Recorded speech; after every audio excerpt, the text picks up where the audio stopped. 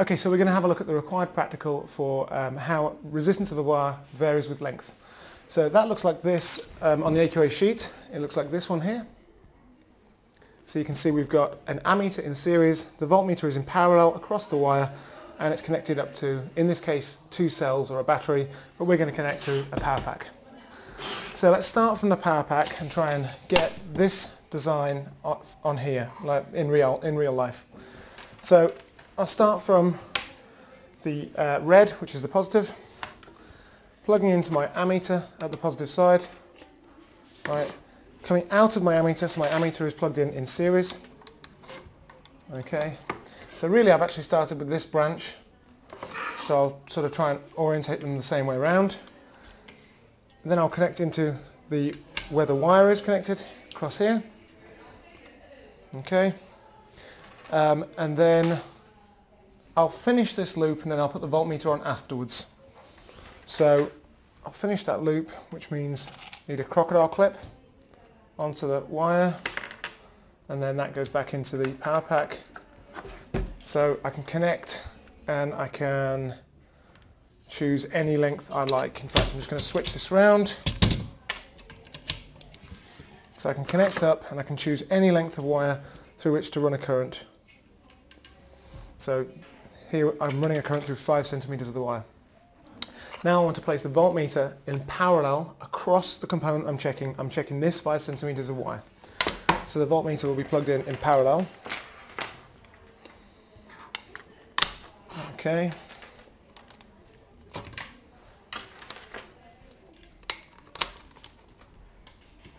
Okay, so all set up.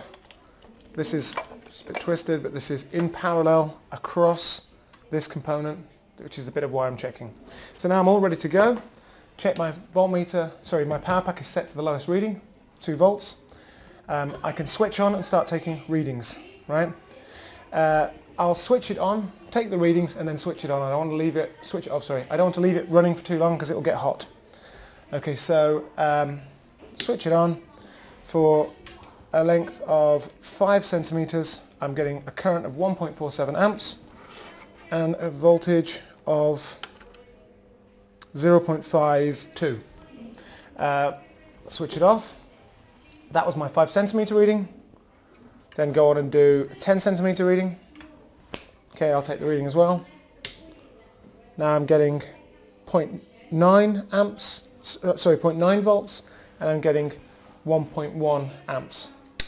And again, I'll repeat, repeat this every 5 centimeters along the wire until I've got readings for all 40. I'll just do the last one so we can see the effect.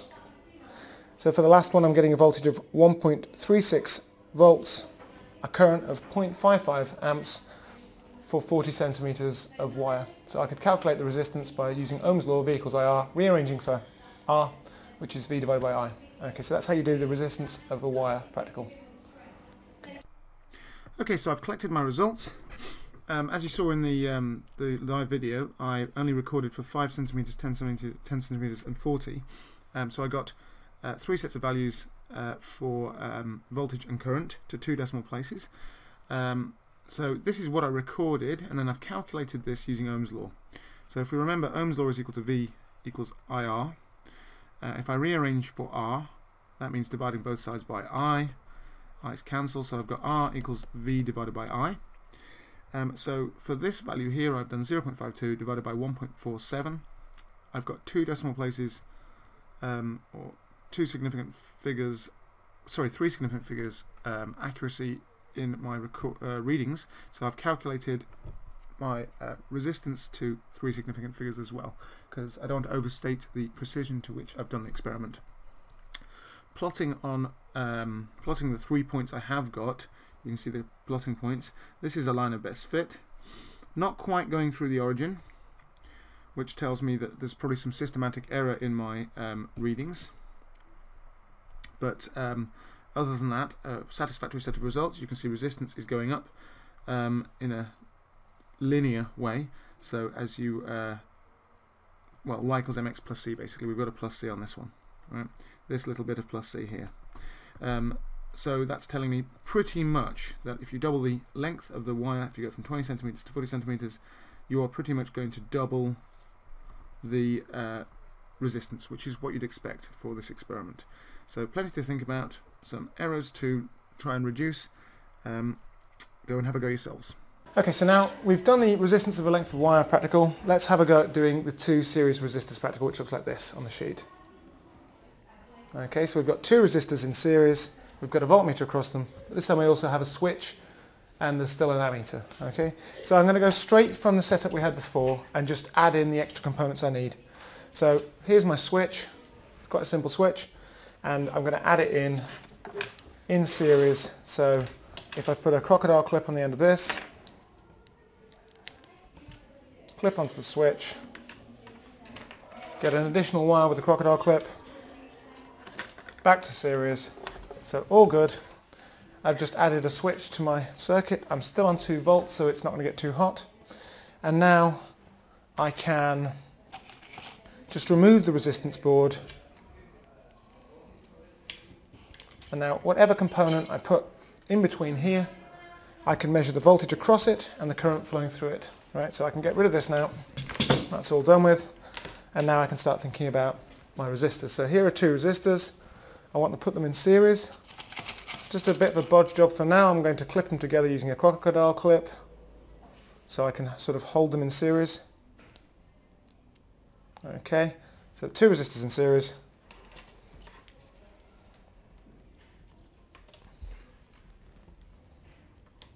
So again you can, whoops.